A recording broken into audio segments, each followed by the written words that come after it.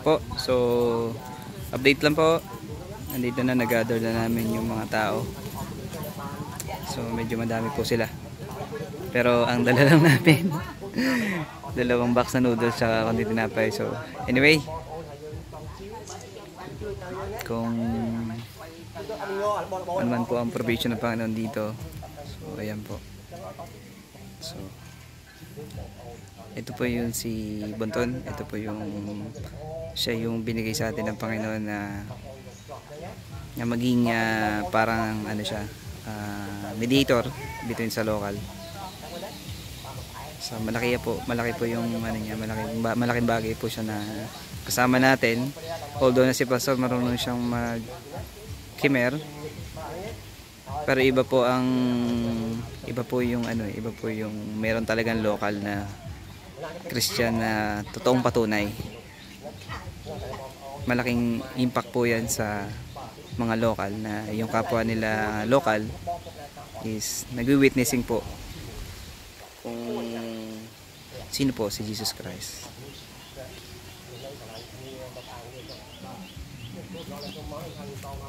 Oh, dami pong mga bata.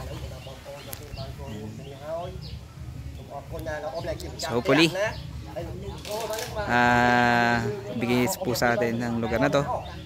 And nagkaroon po ng mga workers pang ibigay ang Panginoon kasi po yung yung ministry po na pinagkatiwala kay pastor medyo lumalaki po ito po yung magiging magiging pangatlo na pangatlong church na imiminister po ni pastor kapag ka na-confirm po na ma- makapag-open po dito So ito po ulit, uh, napakita ko po kung paano i-introduce si Pastor. So bago po siya magsalita, in-introduce muna siya ni Bunton. Dahil na-identify nila, although na marunong mag-Cambodia, na-identify nila talaga yung, yung purong pagsasalita. So, Pastor, talagang sa tagal niya na dito. So ayan. Alam niya na yung yung culture dito sa Cambodia. So praise God. And naka directly communicate sa mga sa mga locals.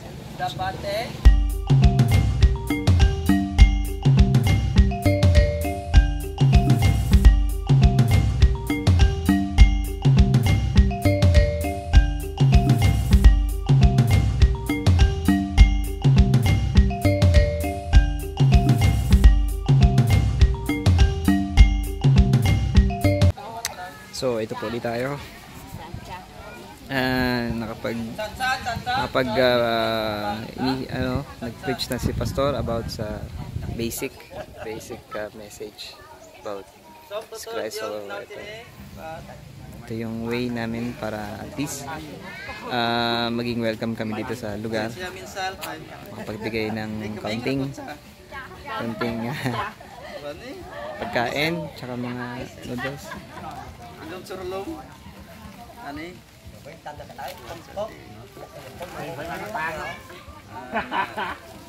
Sat sat tit mil sal tumpang ay tit na. sa mga bata, tinapay. Uh, Yung yung people pas na ko na. Pag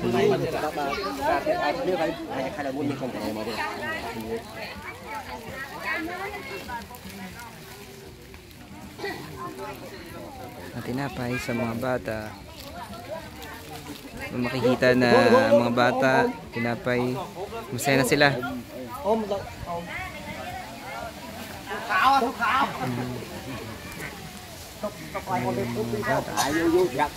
Tawa sila sa tinapay. And, không?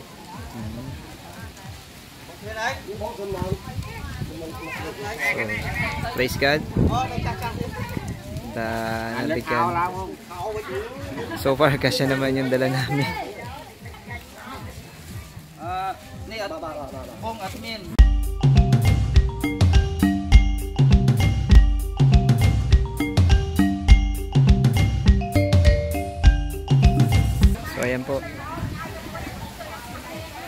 គ្នាចង់បានមានប្រជុំថ្ងៃអាទិត្យអាទិត្យអញ្ចឹងទេអញ្ចឹងហើយយើងសូមបន្តប្រទេសហើយយើងកាត់គោទៅប្រាកដលែងគាត់ដើម្បីយើងមានកូនឡើងប្រជុំខ្លួនអូអូបានបានគោគោហ្នឹងណា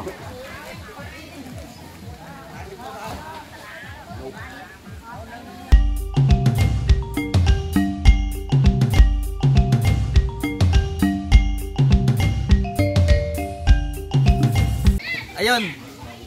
Ah, maraming salamat, no? Ah, nakausap na natin yung ano, yung mga villagers, pero konti pa lang 'yun.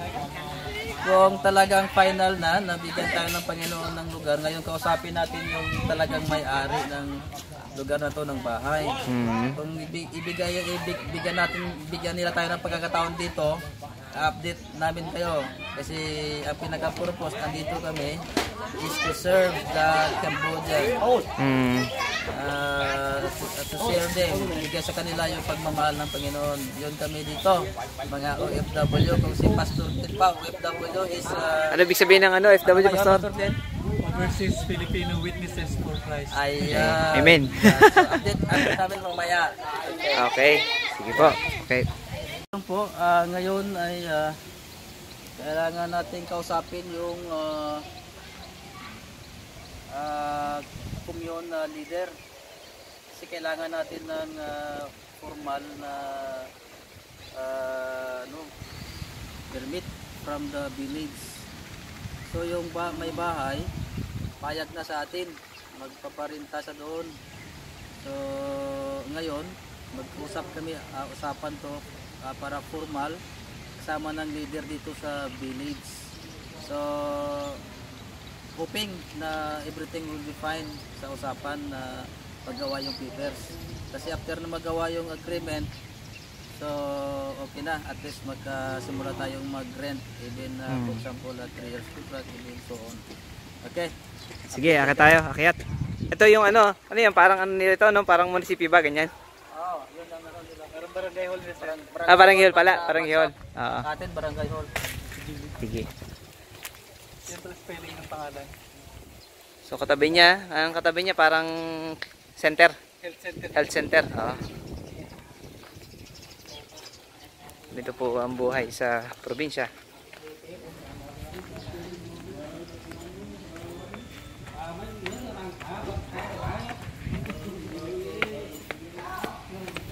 Kaya tayo. Dito po ang mga opisyal ng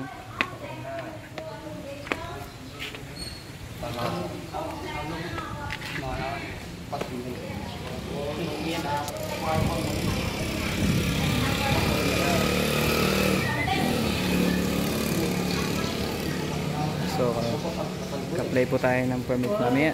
So, update po natin. Uh, hopefully, na may apply na po yung permit. Kasama po natin yung may-ari nung bahay. Si, si Lola. So, nandito po kami sa dumating na po yung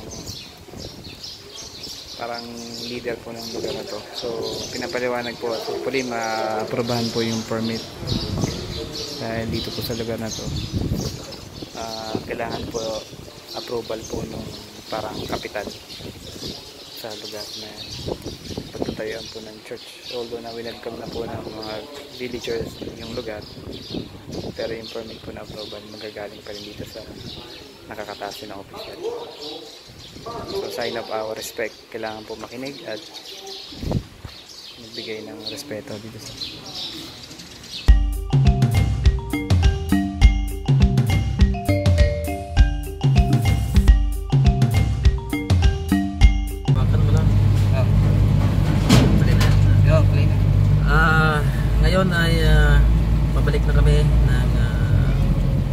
City. Ah, kanina nakausap na namin yung ah, commune leader ah, sama ng mga village leader and ah, yung mga villagers doon no? Ah, nag-usap na kami doon about sa ministry na gawin doon kasi humingi tayo ng ah, permission so hindi nila basta-basta magawa din yun dahil uh, kaka-appeal lang natin doon bukas Sunday. So gawin daw nila mga Monday. So hoping and we are praying na God will make a way and prepare everything na magawan at saka ma bigyan tayo ng permit na legally na magkasimula doon ng gawain. So maraming salamat. Tutukan nyo lang and then uh, we will update again pag uh, babalik kami. Pero uh, doon, tingnan nyo lang yung unang video natin doon. Makita nyo kung gaano ka dami ng mga villagers doon at saka nangangailangan ng mga yan, comfort na galing sa Panginoon. Sa pagbisita natin na feel nila na pagmamahal at saka may tao palang uh, nag- na mamahalin sa kanila na pupunta doon. So, uh, ah, yan, lang, yan lang muna. And then, uh, Balik na kami. balik na kami ng uh, Ito na yung... Oh, Ayan. ayan, yung vloggers natin. Sir Marlon. Na-receive ng friend na ongoing. Pwede ko lang ikot kita tapos hindi na apektuhan yung ano. Tapos pwede din siya ibalik. So, Is Salamat. it lang talaga may ganyan, no? salamat sa prayers. Oh, at so, Sa... medyo malakas ang current ngayon. Kaya... pagtatawid ng uh, Mekong River hindi madali. Minsan malakas yung current, tingnan nyo. Minsan hindi nga ito magatawid. So, praise God. So, dito ma parang ma-experience natin yung experience ng mga yung sa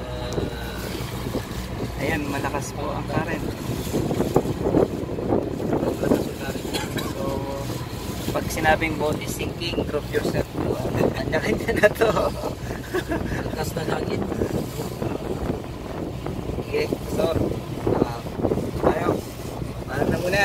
At ah, sa susunod na update ito, uh, Kamay greetings. Okay, Uh, bye-bye. Yeah, hi. okay. Bye.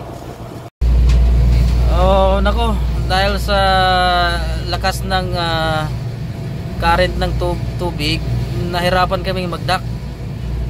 So, ayan. Ah, ginagawa nila ng paraan na magdak tayo. Ito is the second attempt.